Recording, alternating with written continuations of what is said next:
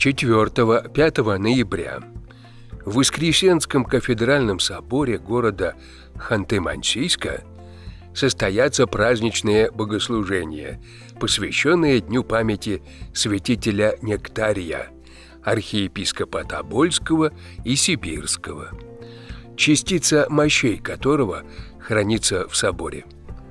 Святые мощи святителя были доставлены в город Ханты-Мансийск из Нила-Столбенской пустыни Тверской епархии. 4 ноября в 17.00 начнется всеночное бдение. 5 ноября в 9.00 божественная литургия.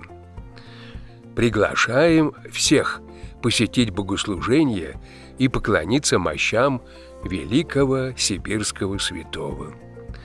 При посещении храма необходимо соблюдение масочного режима и социальной дистанции.